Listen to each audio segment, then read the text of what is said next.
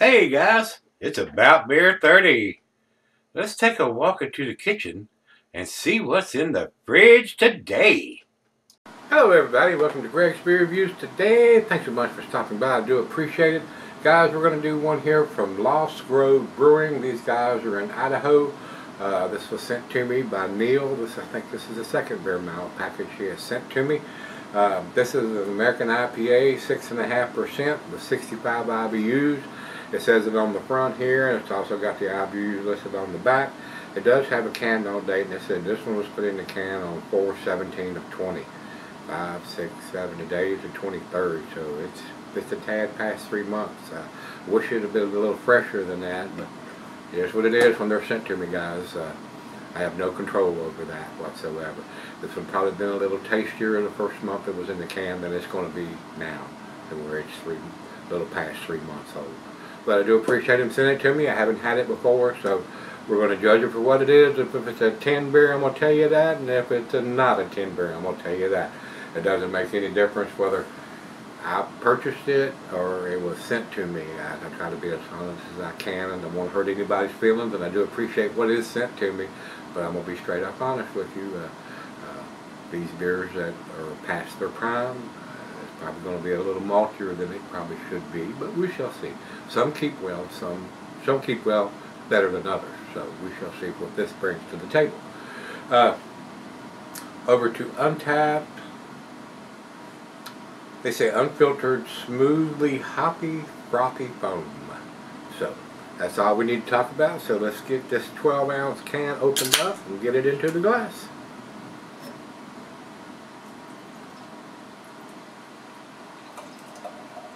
We're going to stand it up here, and then we're going to swirl it around. It says it's an unfiltered beer. It's got a little bit of a haze to it, it doesn't look like a New England style. It's not claiming to be. Make sure we get all the goodies out of the can.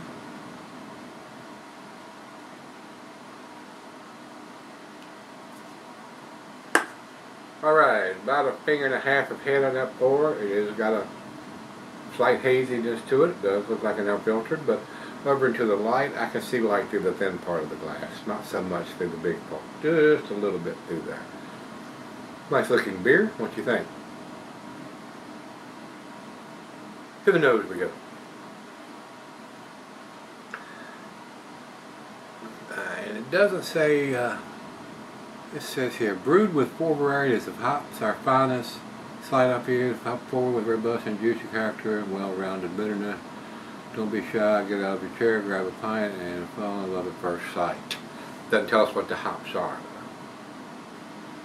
A little bit of citrusy pine, a little bit of maltiness. Like I said, this would probably have been a little tastier, a little more hoppier in the first month it was in the can now that it's past three months. And that's about all I'm getting, guys. I stop in. Cheers. Cheers, Neil. Thank you.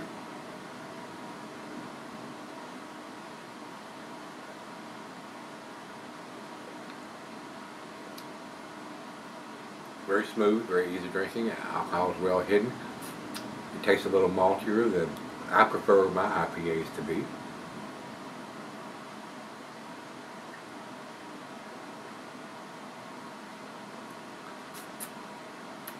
But it is what it is. Uh,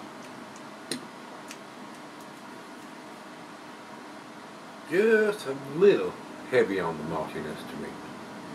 But if I've used four different varieties of hops, this seems like a transitional beer to me, guys. Even though it's a six and a half percenter, uh, the hops aren't standing out to me. Uh, uh, I don't know if this is one of his favorites that he likes to drink, uh, but uh, not enough hop profile for this guy. So we're going to sip on it right out of the fridge, and we'll come back and do the final chug and grade. Alright guys, I'm back. Been sipping on it close to an hour now. Uh, it's definitely up to room temperature. A little bit of lacing left on the glass. To me guys, uh, it's, it's a decent beer, but it's not outstanding or world class. Uh, it's a little heavier on the maltiness side. I uh, don't know if it's been that way the first month it was in the can, but right now it's a little too malty for this guy. So, uh, but I do appreciate Neil sending it to me. Let me try it. I just wish it would have been just a tad fresher than this one is. So, final chug.